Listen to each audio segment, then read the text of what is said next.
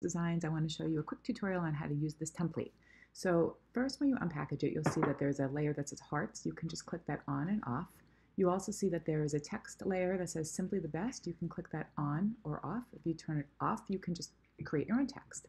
You're also going to see that there's an effects that I placed under it. That's a color overlay. If you click on it, it would change the color.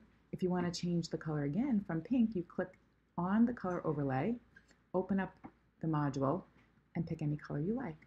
And there you go. And that'll change the color. So I've already applied that effect for you. Then when you open up, you'll see Mini, Mimi clipping masks and Gigi clipping masks. This is essentially the same thing from mom and mama and dad and papa.